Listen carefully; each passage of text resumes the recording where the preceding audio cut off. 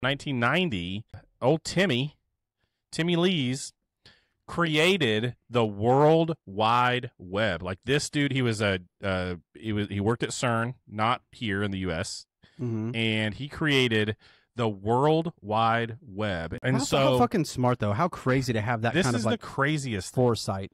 It's so crazy because the stuff that they came up with in 1990, we still use. They outlined Hypertext Project that would allow users to view a web of hypertext documents using browsers. That's fucking. we still crazy. use a browser, we still use hypertext.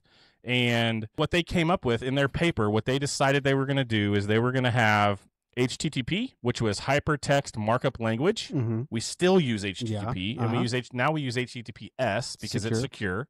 And then we also have HTML, which was um, the hypertext markup language. We still use HTML to write web pages. We still use that stuff. Mm-hmm. It's it's, crazy to me that somebody throughout history can just have a good idea and be like, "This is what we're going to do," and like-minded people get behind it, and it turns into something incredible.